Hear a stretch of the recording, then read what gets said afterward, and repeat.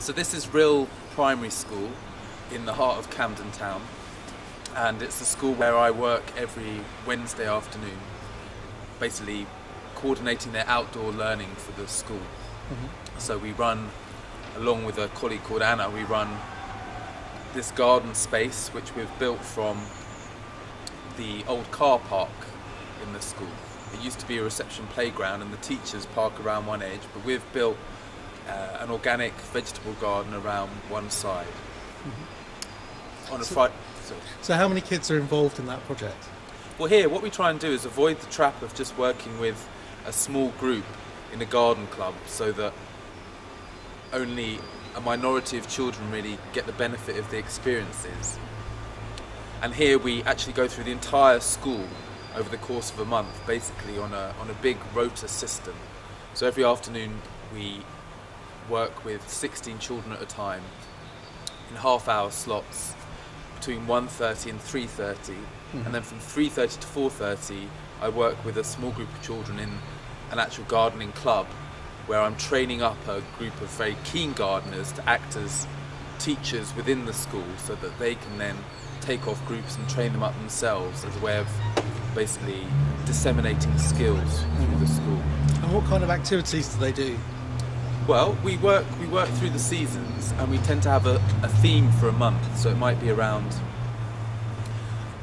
Uh, our theme might be around sowing seeds and germination, or it might be around caring for plants and well, yeah, or it might be around caring for plants. Mm-hmm. So for that month, we'll keep that theme going while weaving in the general tasks that need to be done in the garden at that time. Mm-hmm. And by doing that, we're hoping that in a systematic way, all the children in the school will have key skills so that we don't need to keep repeating them. We then basically build on that year on year so mm. that children are. So that we empower children to have the key skills so that we can then take them to new places in their learning. So, I mean, being London, it's a very diverse school, uh, kids from lots of different backgrounds.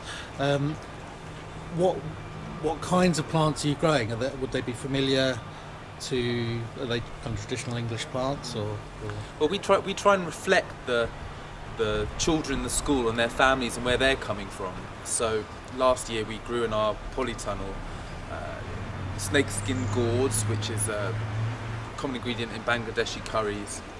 We're growing a lot of coriander, a lot of chilies, and one of our aims this year is to sell back bags of coriander and chilies to the parents as a way of weaving in an enterprise angle to what we're doing so children can work around the maths involved in the revenue stream which will also help to support the project. It's in a small way but I think it's it's one strand of what we're keen to get going. So that's a big commitment on the part of the school, isn't it? Yeah, the school's been fantastic and we've been here for nearly two years and have the freedom and the support to build a garden, but more importantly, to build a project within the school itself. And that takes time, and gardens take time. Could, nothing can be done instantly. And that's the message I always try and get across when I'm working in schools is to plan it out for the future, to understand the small steps that you need to take to achieve something much bigger in the end. One of the more challenging but most important bits of what we do here is actually team teach with the teachers. And I'm a teacher by trade, so I go in and work with teachers to help them plan topics, plan ideas.